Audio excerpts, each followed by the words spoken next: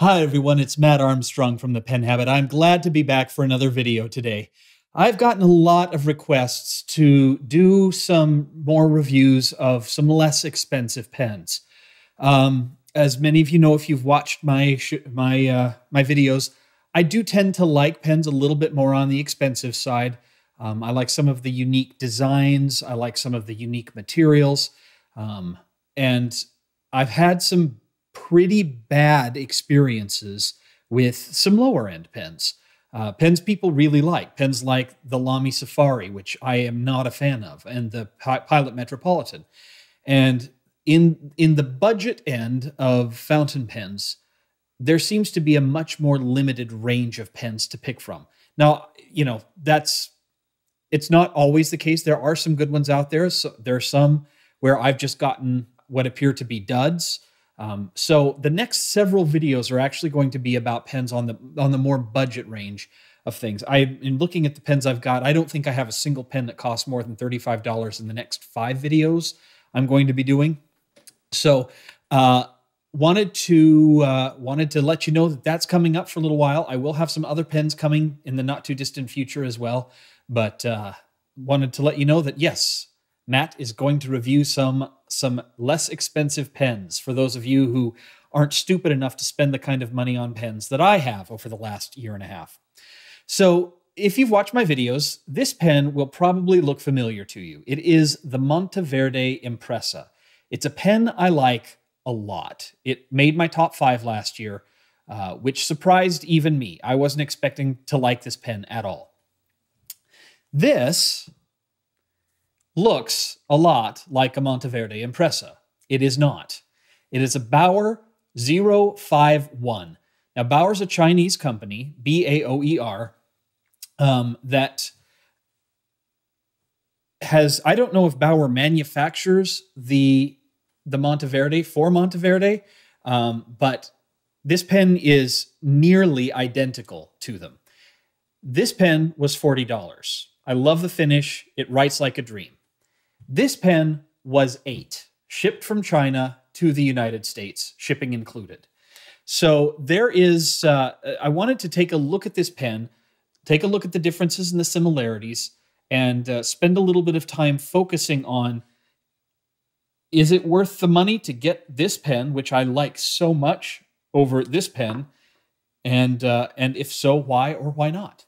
So let's dive in, shall we? So this pen did not come in any packaging other than a thin plastic sheet or a plastic sheath. Um, came in a padded envelope from China, no box. So that's to be expected. It's cartridge converter pen.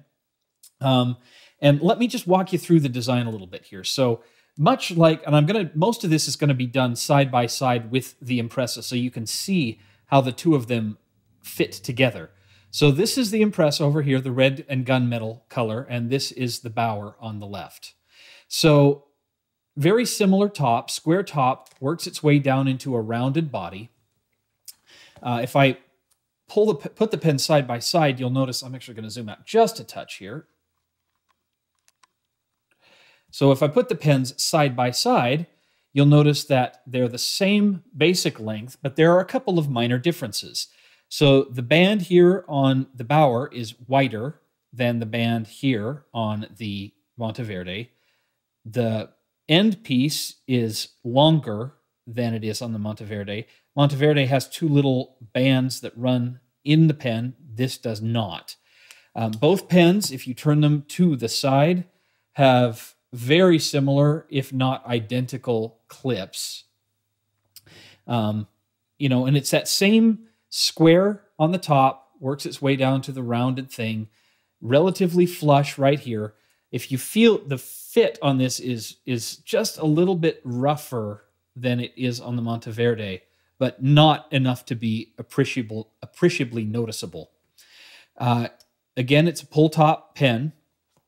Now, once you take the cap off, that's where things start to fall apart a little bit here um, in terms of the similarity. So I'm going to go ahead and zoom back in. Apologize for hitting the uh, hitting the camera there. So the first main difference you'll notice is that the section on the Monteverde is much longer, or is, is a little bit longer and a little bit wider. It's also made out of the same metal as the body of the pen. The section on the Baoer 51 is thinner. It's made out of plastic. Then the other big difference, obviously, is the nib. The Monteverde uses a number six size nib, and the Impressa, or excuse me, the Baoer uses a number five size nib.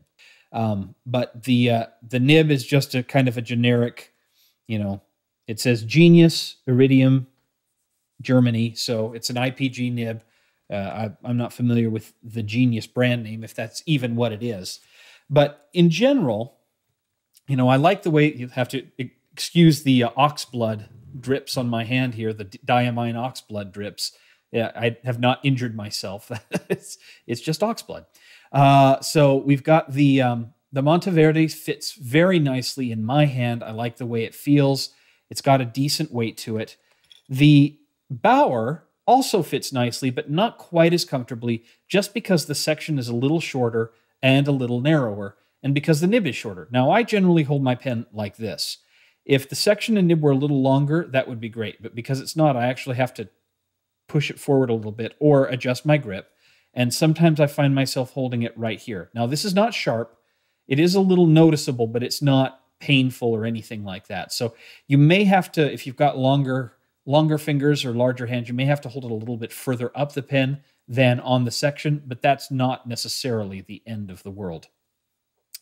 Um, cartridge converter pen, it does come with a converter, and it's a fairly inexpensive looking standard international converter should use standard international long cartridges as well, I believe. Although I haven't tried it, so if it doesn't, don't blame me. Um, in terms of the stats on the pen, this uh, is 138 millimeters long with the cap on and 123 millimeters without. You can see here, fits fairly comfortably in the hand, so we're good there. Uh, you can post the pen, and it posts pretty securely and it's 153 millimeters posted. And it's fairly comfortable in the hand when posted. Uh, it's not too long and it's not too back heavy.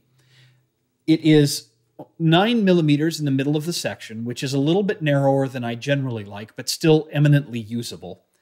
It's about 12.6 millimeters, both on the widest part of the barrel and on the cap. So it, it's, it's a fairly similar, you know, blending all the way until it starts to taper down here.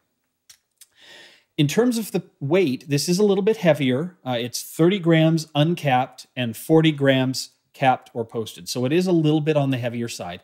But as I mentioned, it's very comfortably balanced. And uh, if, you, if you're a poster, I don't think you'll need to worry about this pen being too unbalanced. So let's talk build quality. I love my Monteverde Impressa. Like, I mean, I love it. It's one of my favorite pens right now. Um, I have heard from some people that it they are already starting to see chipping in the finish. I have seen just a tiny little bit of chipping on the the black finish of the nib, which you probably can't. Oh, there you can see right there in the video. So there's just a tiny little bit of loss there in the of the color on the nib itself. Now, I apparently am very very easy on my pens because I don't have half the problems people complain about with pens that don't have high build qualities. My pens don't chip. I don't have a lot of scratches on the finish. I don't have problems with the cap. I, either I'm really lucky or I'm just gentle with my pens. I'm not sure which. Um, I've not seen any of those on the Monteverde. In addition, the folks who there are some folks who have said the Impressa does not write well for them out of the out of the box. Again, I didn't have that problem. I didn't have to touch this pen. I didn't smooth it. I didn't increase the wetness. I didn't adjust the tines. It worked beautifully right out of the box, and I've really liked it. I also bought this pen to give to my father. He had the same experience. So take that for what it's worth. The Baoer, uh, thus far, and I haven't had it for very long, so I don't know how this will work in the long term, feels very similar in build quality. It's it's solid. The the click on the cap doesn't feel quite as secure as it does on the Impressa. The threads, because it's plastic meshing with metal, don't feel quite as nicely made or quite as tightly fit. Um, but other than that, it feels fine. And the one thing I would like to point out is this feed is a little. This reminds me more of older style feeds. It doesn't have any fins on the bottom of it, um, and uh, so yeah, it's it's an interesting it's an interesting feed. I've not seen a lot like it. In any case, that's uh, it's a nice pen for eight. It's it's a nice pen, and it's a really nice pen for eight bucks. Uh, you know, if if you just don't have the forty dollars to spend on an Impressa, uh, go for a Baoer.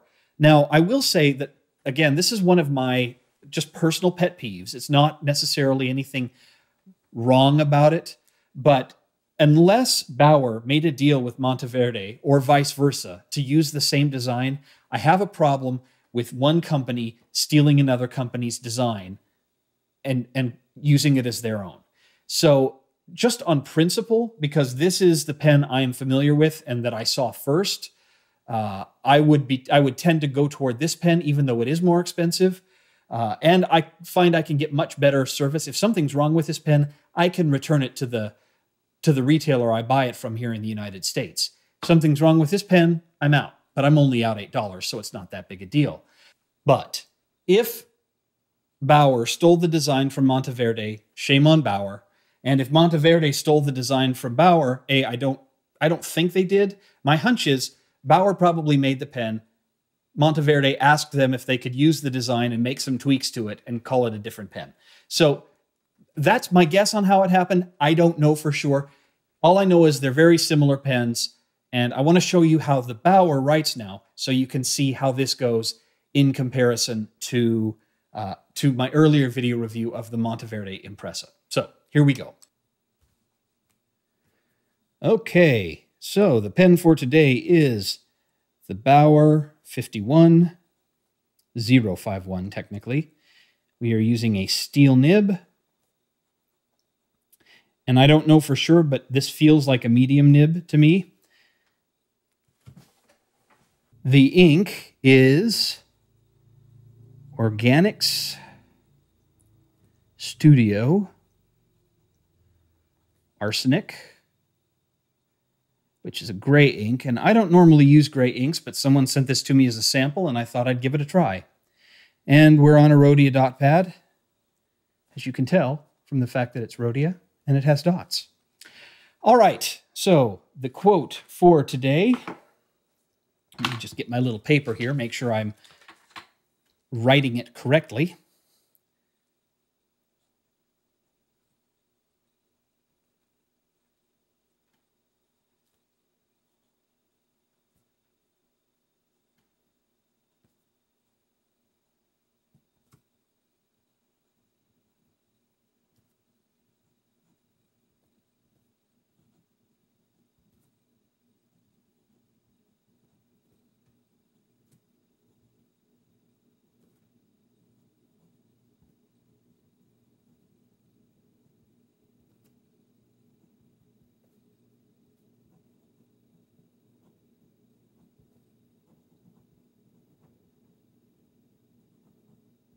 Okay. So this nib writes very well. I've done no work to it. Um, it's much smoother than I was expecting and much smoother than I've seen on most of the Chinese nibs. Now, just because I got a good one doesn't necessarily mean you will. General rule of thumb is with inexpensive pens, one person's success does not equal another person's success necessarily. Quality control is going to be lower. Hand work on these nibs is going to be lower. Chances of you getting a bum nib are just as high as chances of you getting a good one. So just because I had a good experience, don't assume you will too. Um, generally, on higher end pens, you can say, well, if one person, lots of people had good experiences, then you're pretty safe. But on, on some of these less expensive pens, you just don't necessarily know what to expect. Um, in terms of the wetness on the pen, it's not very wet. And, you know, as I mentioned, I haven't done any adjustment to it. I will. Um, I want to, I like doing these videos without adjustment, but I'm eventually going to adjust this nib. I will probably smooth it just a touch, not very much, and I'm going to increase the wetness a bit. And for videos on how to do that, search online from Stephen Brown or Brian Goulet or whomever, they've already showed you how to do it. I don't want to repeat what they have already so graciously instructed. Um, so it's not a terribly wet pen, but it, you know, it's it's fine. It's it's nothing spectacular. Um, in terms of line variation, you can push the nib a little bit, but you can see, like right there, I got just the tiny little hints of railroading. This pen, it's just not a very flexible nib, so you shouldn't, you know, be too concerned with that on this pen. It's also a number five size nib, and uh, and it's a stainless steel nib. It's not going to be very flexible. Upside down writing or reverse writing, as I have heard it called, uh, it actually writes quite nicely upside down. And uh, it's a slightly finer line, but not as fine as some. So I would consider this maybe a, a finer medium, and this would be a finer fine, like a, a Japanese style medium and a Japanese style fine. Um, but it works just fine. No pun intended. So overall, um, it's a nice little pen for eight bucks. It's a really nice little pen. Um, I would put this pen in my mind kind of in the same realm as the the Jinhao X450, which I also have and which is right in the same price range. I actually think this feels a slight bit more refined than a Jinhao X450 if you're familiar with those. The nib is nice, uh, and it looks to be a standard number five size nib. So theoretically, you should be able to uh, to swap it out with. For instance, I know Edison sells number five size nibs uh, that you could probably swap out with this, uh, and you can find them in a in a few other places as well. But it's a nice pen. Uh, am I as gaga about it as I am my Impressa? No, I'm not. I like the Impressa a lot more. I like the number six st- style nib. And just in, in comparison to the wetness, I mean, this, this pen is just so much wetter and so much smoother um, across the board. I, I just like the way this writes a lot more, and I like the way it feels in my hand a lot more. But for, for eight bucks, shipping included, it's pretty darn good for the price. So that has been my review of the Baoer 051 or 051.